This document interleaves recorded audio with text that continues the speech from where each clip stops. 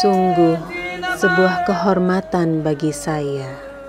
Masyarakat adat suku Asmat Ats Rumpun Betsbub ini telah memberikan saya sebuah upacara adat sakral yang khusus dan eksklusif, yaitu penyematan nama salah satu leluhur mereka di Ats yang merupakan seorang kepala perang wanita bernama Seiserei.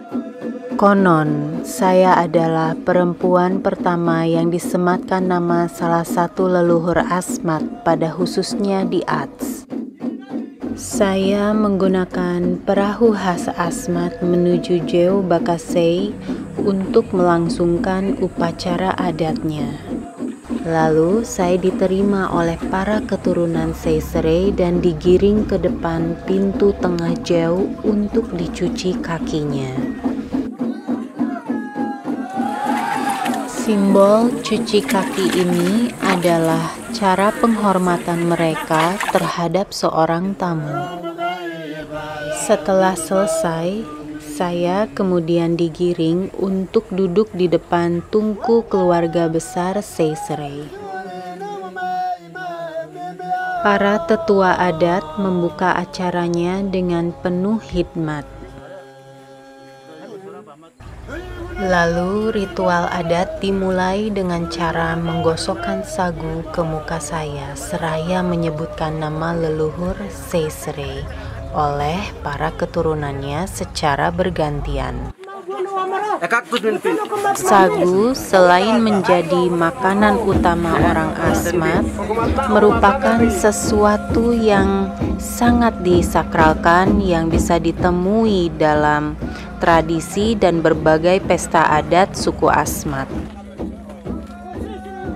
Peristiwa ini telah mengukir sejarah tidak hanya untuk Asmat, tetapi untuk diri saya, sebuah sejarah diri. Padahal saya sempat berpikir kalau masih banyak yang perlu saya lakukan dan berikan untuk Asmat.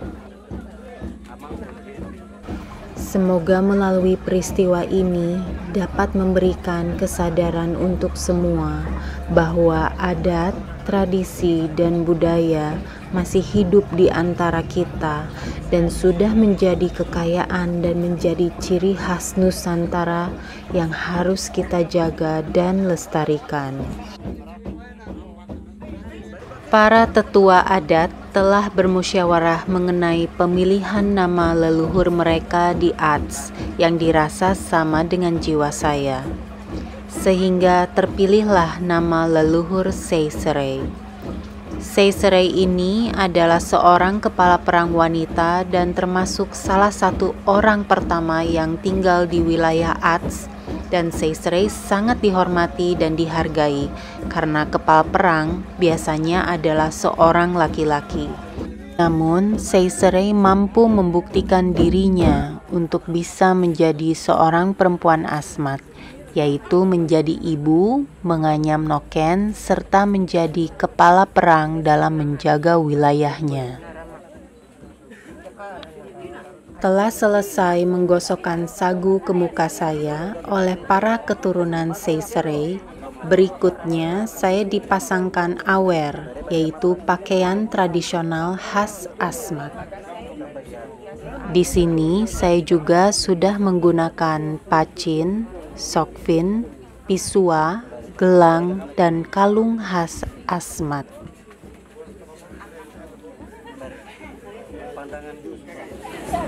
Oh, saya saya.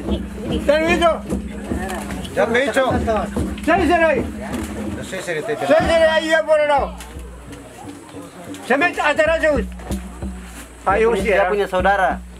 Saudaranya Sesere. Nama Semet. Je bicara semet. Acara jut jalan masa mana lah. Mama Sesere. Mama jadi temi. Mari. Ya anak kecil kamu teh. Ma, itu ma. Dora pra ini marau. Saya telah berusaha dan berupaya semampunya untuk memberikan yang terbaik dalam melakukan berbagai aktivitas pemberdayaan masyarakat adat di wilayah Ats dan di beberapa wilayah Asmat pada umumnya. Seperti berkunjung ke Jeu dan bersilaturahmi kepada para tetua adat di berbagai kampung sekitar, sekaligus berbicara mengenai persiapan pelestarian adat dan budaya ke depannya. Karena di era ini, penyusupan internet dan modernitas yang akan terus tembus ke pedalaman semakin sulit kita hindari, sehingga pembinaan orang muda perlu dilakukan agar mereka paham bahwa adat budaya yang dimiliki sangatlah berharga dan penting untuk dijadikan sebagai ketahanan suatu daerah. Ayo sama pembina merah, pembina merah. Oh. Oh. Ketua adat sekaligus turunan dari Seisrei yang paling disepuhkan memberikan penyampaian di penghujung acara dalam upacara adat ini. memberikan nama tidak usah lupa tunggu ini. Dan harus menghadap saya biarpun tempat jauh harus lihat saya Intinya ada di sini. Tersir juga tak mampu. Nah, tersir pak.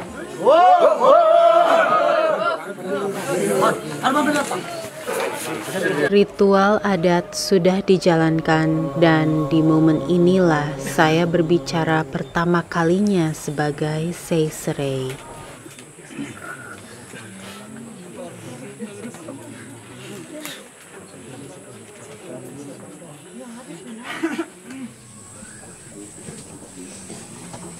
untuk keluarga besar sering ini air mata ada air mata kebahagiaan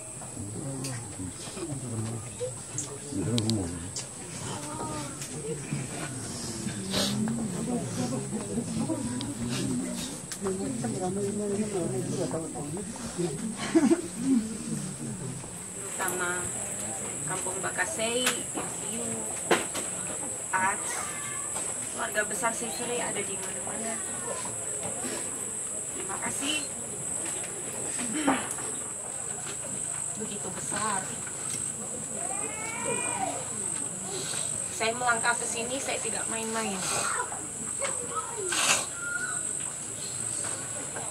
Dan dari keluarga besar Ats ini menerima saya menerima nama saya ini dengan rasa penuh kebanggaan rasa hormat sama keluarga besar Seiserai sama keluarga besar masyarakat terima kasih.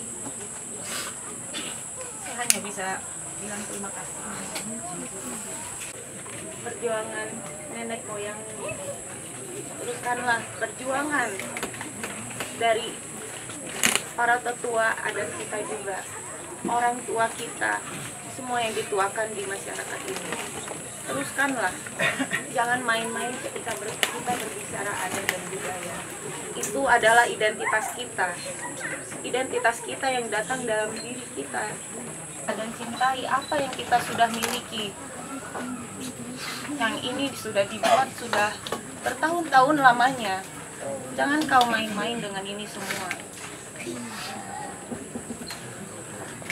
kita hidup dari alam Suku Asmat sangat menghormati dan menghargai leluhurnya.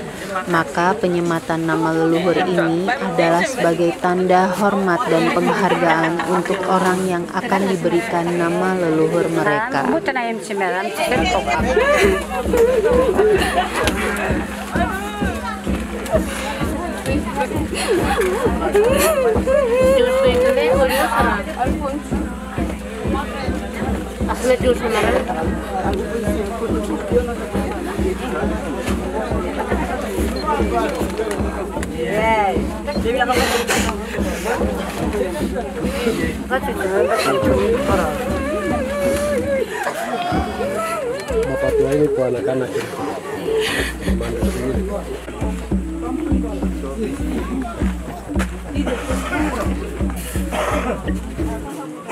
Pengharapan mereka adalah supaya saya bisa membawa nama Seisere sampai ke bintang di langit.